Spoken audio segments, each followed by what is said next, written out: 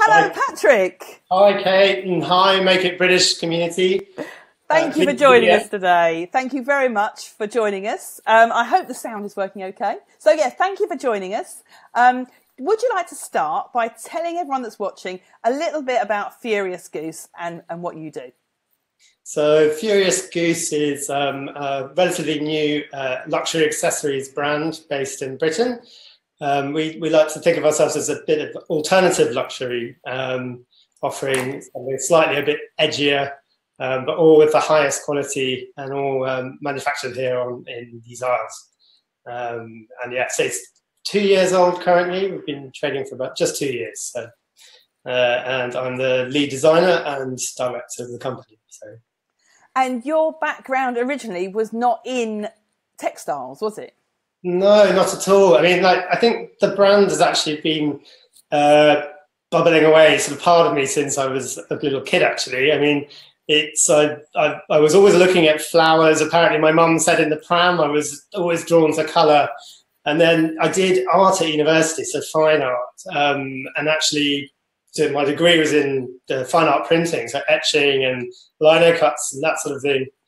And then after I graduated, there's really not much call for etchers. I, I, I needed cash, so I became a graphic designer. Uh, and I, it's a great career. I've been doing that for 15 years.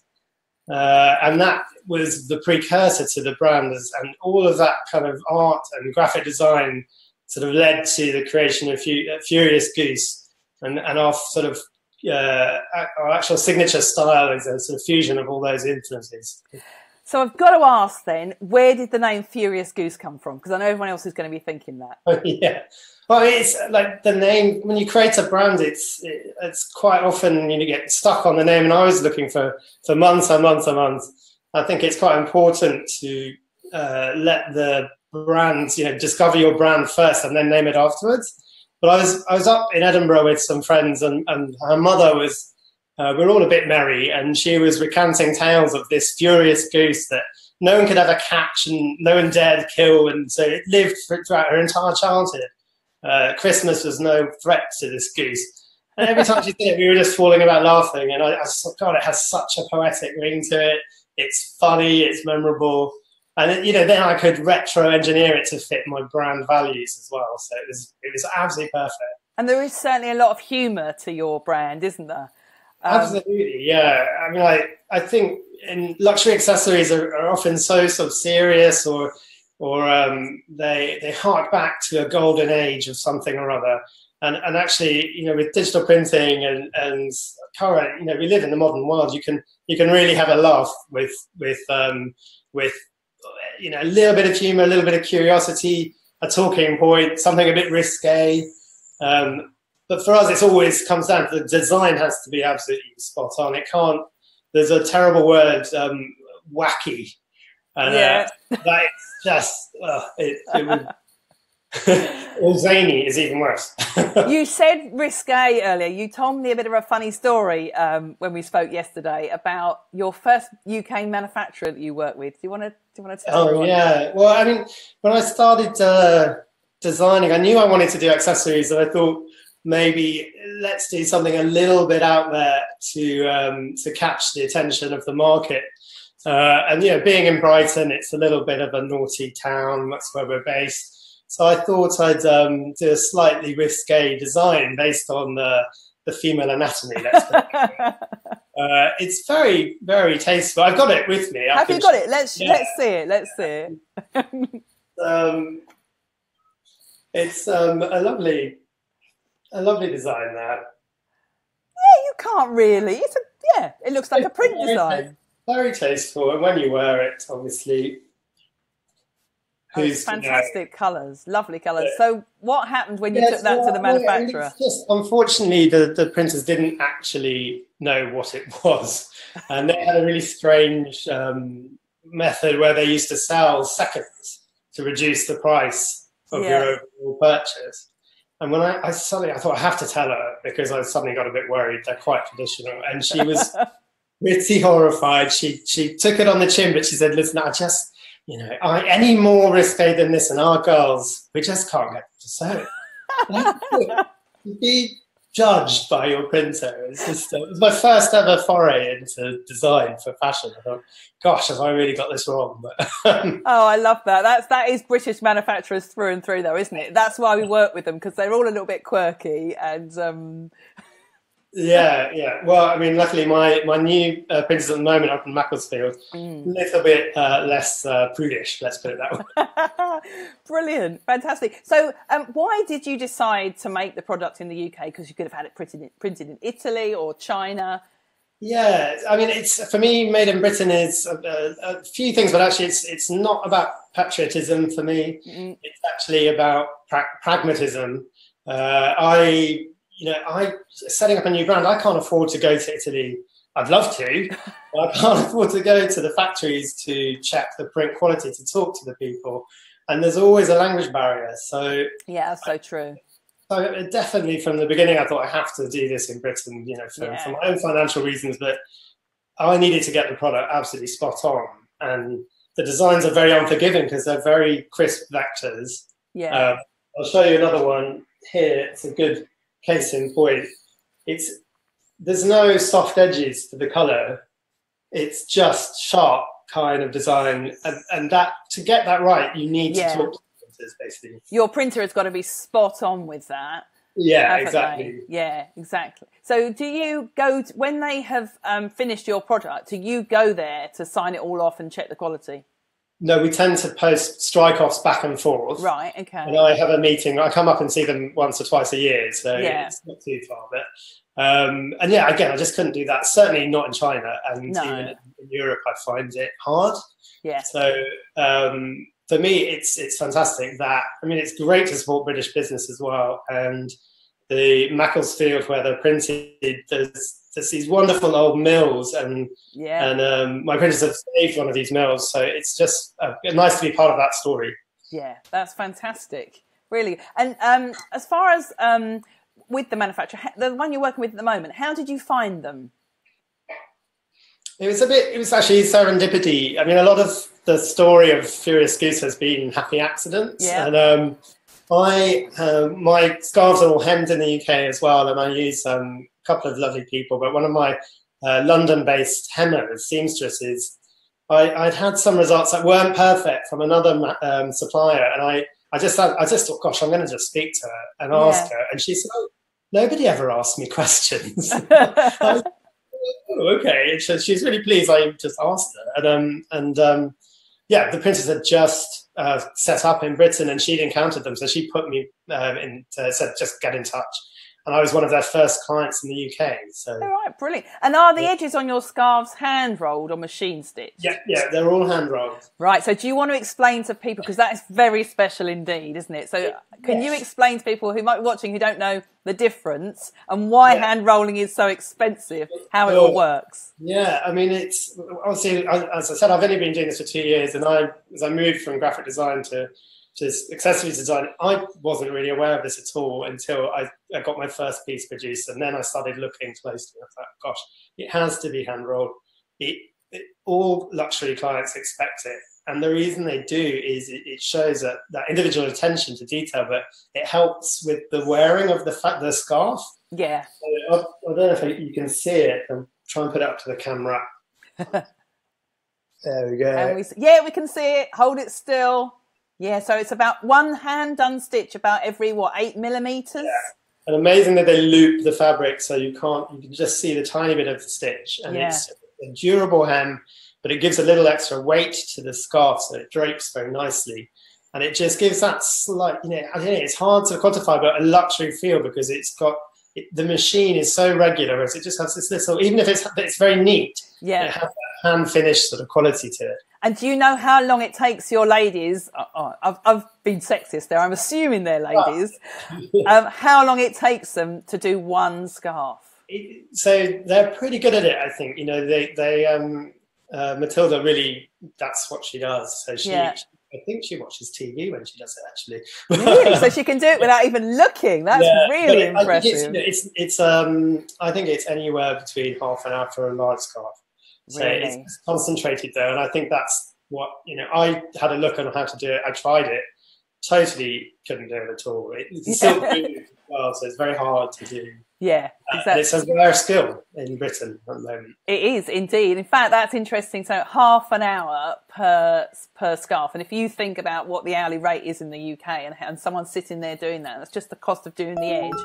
And when yeah. people turn around, so do you think obviously your customers appreciate the fact that you've got a luxury product there? I mean, who are your typical customers? Yeah, I mean, I think they do. I think when I set up the business, I had a really lovely, um, again, just chance. I saw a seminar in London um, by a company called uh, Utelier. Oh, yes, who, um, I know. Yep. Yeah. yeah. Um, and I popped a like, it was called Pricing for Profit. Yeah. And uh, I, if I hadn't been to that, I think I would have gone come very undone uh, later down the line. And it, they, yeah. So the whole takeaway from that was to price at the higher end. Yep Correct. Raising yeah. prices is so impossible. Re- reducing prices is much easier. Yes. And to factor in all these details and to um, the, use a, a simple uh, equation to get to your final cost price. Uh, sorry, your final RRP. Yeah. Yeah. So I, I at the beginning went high, um, and so my client base always was going to be the, the sort of higher end of the market, people who don't see spending three hundred pounds on a scarf as uh, and there's a bit of fun. And the pocket square at sixty-five pounds, you know, isn't a big deal. So it, it and if you aim high, then you know people are willing to spend that if they know it's made in Britain, if they know the quality's there. Um, it, it works. So. Brilliant. Well, that's really good. And that's definitely wise advice, very wise advice, because I always say to people, go in at the higher end because, especially if you want a wholesale, it's very difficult to mark the product down.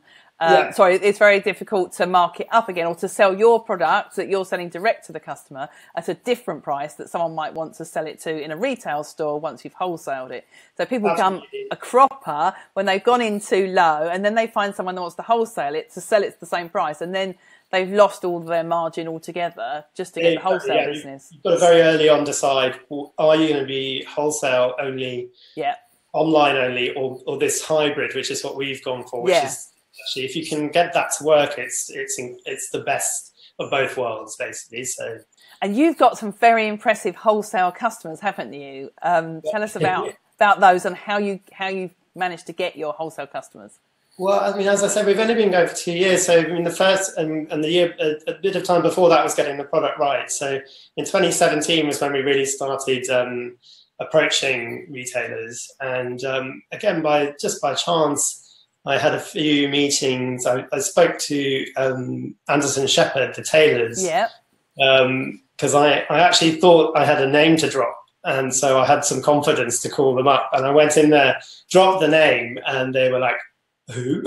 but I was there. So, you know, you, you, carry on. And it turned out they, they the products weren't for them. They only sell their own products. Yeah.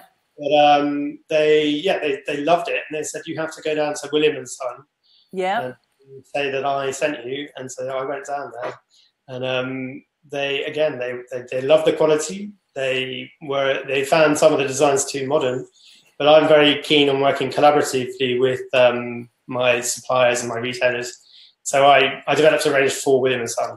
Oh, um, brilliant! They're based, so they're they're on Bruton Street, right opposite Hermes flagship. Amazing, amazing. Uh, yeah, that for me was incredible. Within well the first year in the window opposite Hermes. But that's because you had the balls to get out there and start approaching them, didn't you? Yeah, I think. Well, I mean, I was confident. I mean, I, it took me a while to get the product right and to have yeah. that confidence.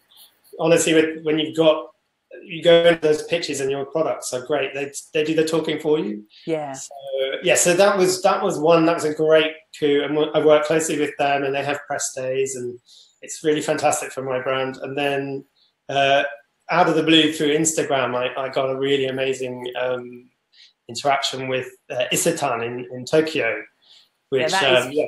And for people that don't know that are watching, Isetan is um, probably the biggest department store, isn't it, in Tokyo, and have a huge selection. All the designers have a scarf collection in there, don't they? Yeah, absolutely. And it, and they have this specific store for menswear, Isetan Men's, which is eight stories of amazing kind of i think you can have your katanas sharpened and your kimonos mended. This is I, I, I haven't been there. You've not you've you got to go. I've been several times you've got to go yeah. I have to go there but um but yeah that was just through instagram. I mean instagram's been fundamental to growing my retail um outlets across the world actually and and it's really you know that's a game changer to be yeah. in in Isetan. It, it gives you so much kudos and clout when you're approaching other retailers. So. And how have you found dealing with the Japanese, or do you deal with someone in between, or does, do you have to sit in the meetings with Japanese people? Yeah, it's. I mean, absolutely fine. The, the, we've got um, two buyers. Well, I met the fashion director first. He's absolutely lovely, and then um, he sent the, the buyers for pocket squares and ties. They have specific I buyers. I love it. They've got a buyer just for pocket squares. yeah, yeah, absolutely. It's it's very neat. But um, and uh, yeah, I've met with them twice now, and, and it, they are great. I was a bit disappointed though because I wanted the Japanese business meeting etiquette, you know, the etiquette. Yeah. I read up all about with it. the handing cards with yeah, with two hands. Yeah. everything. I knew my etiquette. Yeah. back of my hand. And um, I think because they're you know they're fashion guys, they're like they, they don't do that. They're very Londonized. yeah. Yeah. yeah. Well, in the end, I had to ask, "Can we do the business card thing?" Oh, did you? That's brilliant. And you mentioned your Instagram there. I think your Instagram is brilliant, and, and for any small British-made brands who are just starting out, who want to get an idea of you know how to do Instagram well, I think yours is really good. I really enjoy your Instagram stories okay. in particular because you let your personality come through, which it does as well in your work, but particularly in your stories. If someone wants to find your Instagram, what is the Furious Goose Instagram name? Yeah, it's just Furious Goose. So, right, so I'll put a link alongside this video afterwards for all of you. How else can people find you as well online if they if they want to find all your products, Patrick? Yeah, so obviously the website is furiousgoose.co.uk. Yeah. Uh, and then Instagram is the main one, and my Facebook page is again at Furious Goose. So those Fantastic. are the main. Twitter, I'm afraid, is uh, not not working for me at the moment. What's not working for you? Twitter. Twitter, yeah, I think a lot of people are struggling with Twitter. Twitter works well for us, but that's because we're business to business a lot of the time. Um, so for Make It British, we've been, organised and yeah, like and we've been yeah. on it for so long. But I think for a product business like yours, I'm hearing that Instagram and Facebook. Have you started doing any Facebook lives yet after this, Patrick? Because maybe you should. Well, I mean, it's, it's going so well. you're gonna have to. You're definitely gonna have to start doing your own. Definitely, I yeah. shouldn't be the only person doing these on a weekly basis. Shall we have a look and see if anyone's got any questions for you? Let's have a look because I can see there's comments coming in. Connor. Connor Hughes says woo. Fantastic. Um, Is he a friend of yours? Yeah, yeah. Brilliant. So he's joined us. Let's have a look. Who else? I'm trying to see my. Um, Matt McGuire says great stuff. Patrick, Natalie Robbins is uh, lots of emojis and well done signs. Um, Charlotte Johnson says hi. Isabel Randall, hello. She says hi. Um, and Roslyn Whiting and Ross Barr has joined us as well. Now, do you know Ross? Because I'd imagine um, that your products have a similar customer. He does knitwear, a men's knitwear oh, brand. Yeah, no. So you should definitely uh, catch up with Ross because definitely a similar customer there. So if anyone is watching and does specifically have a question for Patrick, then do put it in the comments. There's a bit of a delay. Um, Patrick, is there anything else you'd like to say? Maybe. Um, what you, are obviously you're a member of Make It British. What to you has been the best thing about being a member? Uh, it's basically being able to contact people through the group. And, yeah. Um, I think we had a chat about umbrellas and you know just if there's anything because I, I in future I mean I'm currently focusing on the accessories and, yeah. and fashion but uh, further down the line once I've established a brand I would like to move it into homeware yeah. and surface design but I'm really keen on umbrellas. I've always thought on a rainy day, you know, what better opportunity to brighten up the day than have something fabulous on the on the uh, the umbrella fabric. So, Plus the Japanese.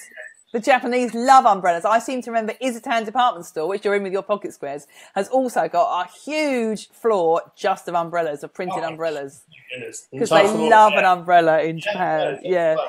Who else have we got here? Sean says, um, does Patrick think that being a British brand has a degree of premium mark to sell overseas? So do you think the fact that you're British made and you're a British brand has really helped you get those overseas accounts? Yeah, absolutely, without a doubt. I mean, I was um, even asked this question directly to Isetan on Wednesday when I had my meeting, and they yeah.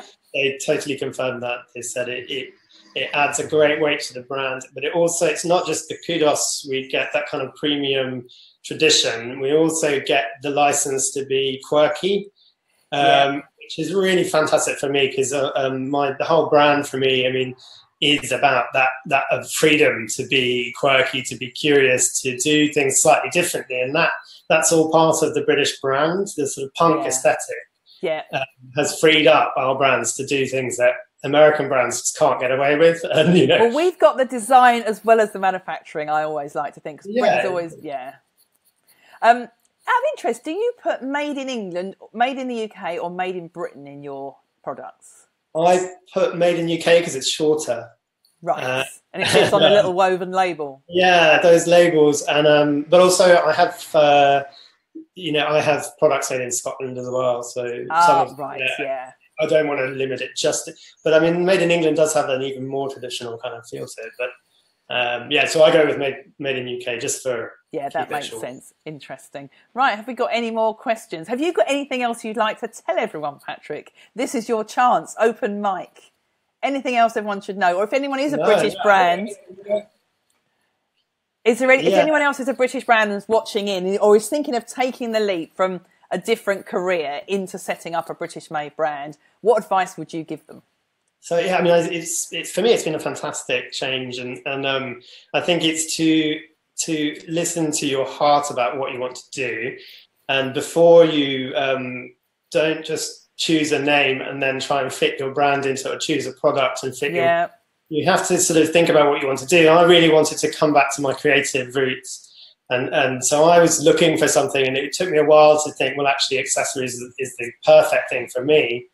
Uh, and then I then I was working on the personality of the brand, and I wanted it to reflect my personality. Yeah. And it was only after I got those things in place that the whole brand started to coalesce. And then I realized that that's what I wanted to do, and it means that everything I've done since has fallen into place with almost not effortless, quite a lot of work, but it's it, there's been no kind of confusion on the brand or where I'm going with it. Yeah. I mean, it's an interesting thing in, in Greece when they name a baby, they they they don't name it for a year they, really? ah, interesting. Right. Character, and then you name it. yeah.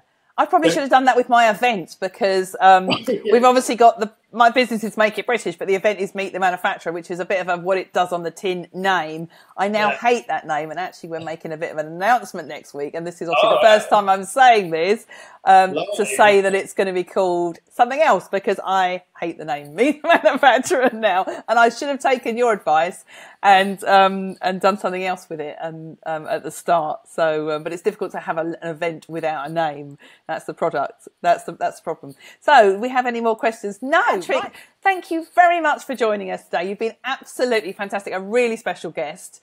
Um, good luck with everything. I will put the links to all of your, uh, all the places everyone can find you and Furious Goose along with this video. And this video will also be published on YouTube. And we've actually now going to be putting videos on YouTube on a week, weekly basis, which are from these interviews. So I will put that link there too. Right. Thank you very much for joining us, Patrick. Thank you. Cheers. Bye. Bye.